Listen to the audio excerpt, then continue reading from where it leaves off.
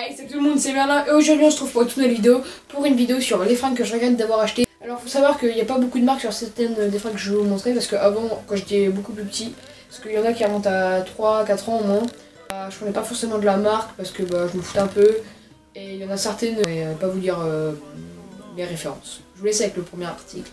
Alors premier article c'est un pull euh, de chez euh, Style Eco je crois, avec des fleurs rouges bleu de merde là, je sais même pas c'est quoi la couleur.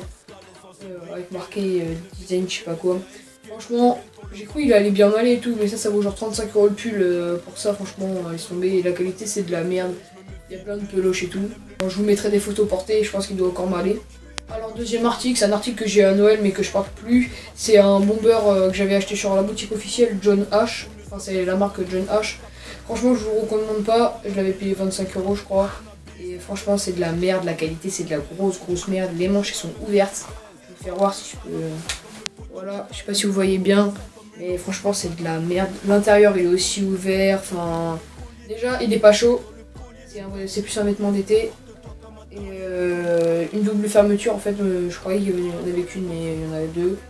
Troisième article, ça va être un jean de chez euh, Complice j'avais déjà eu des jeans plus petites chez Complice, mais voilà. Et euh, j'en avais acheté, genre t'en achetais deux, c'était le prix d'un, genre j'en ai acheté deux euh, il y a un ou deux ans, mais franchement euh, c'est aussi de la merde. Prenez pas les sous-marques, les trucs comme ça en fait, je me rends compte que c'est beaucoup plus de la merde, que c'est mieux de prendre un truc plus cher, voilà. Vous voyez que le jean au bout d'à peine un an, il est niqué, il s'effrite de partout, vous voyez la couleur. Hein.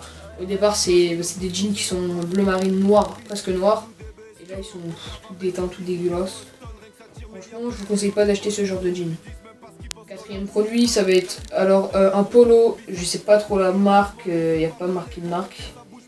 Et euh, franchement, rose et blanc, je sais pas pourquoi je l'avais acheté, mais je l'aime pas du tout.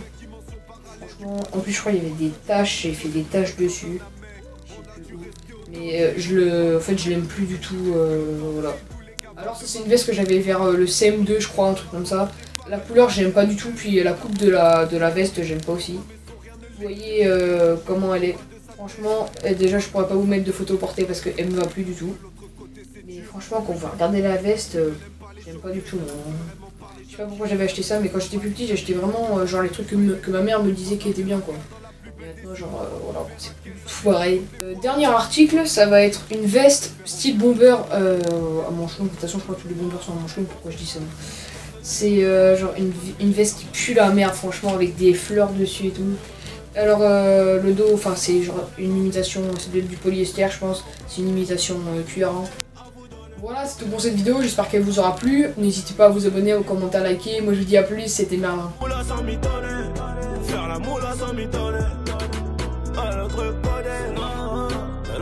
côté,